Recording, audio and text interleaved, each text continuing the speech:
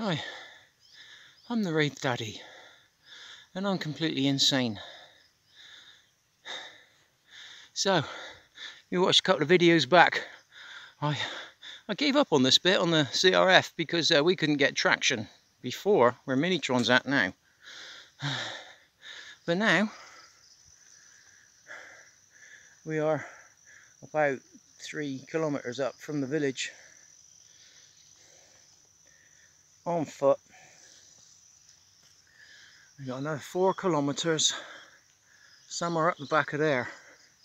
It's where my bike was, is, was, who knows. It is tipping it down. We are, I've already said it, haven't I?